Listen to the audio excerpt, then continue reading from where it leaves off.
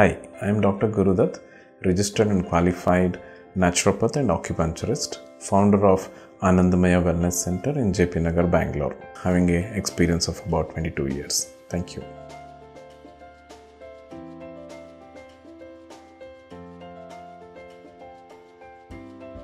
Infertility is one of the modern day lifestyle disorders.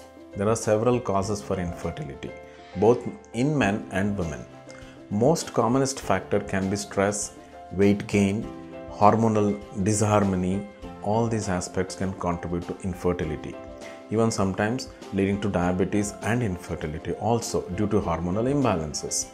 We need to understand naturopathy can help to a great extent in managing the lifestyle and making sure the causes of infertility like obesity, stress, diabetes are all under check. When that happens, automatically infertility, infertility can get much better and can be tackled very well.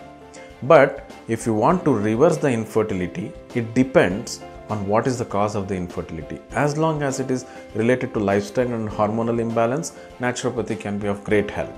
But if it is related to something organically like a fibroid in the uterus or something to do with the tubes or something to do with the ovarian functioning or something to do with the pituitary functioning, naturopathy has its role limited in those aspects.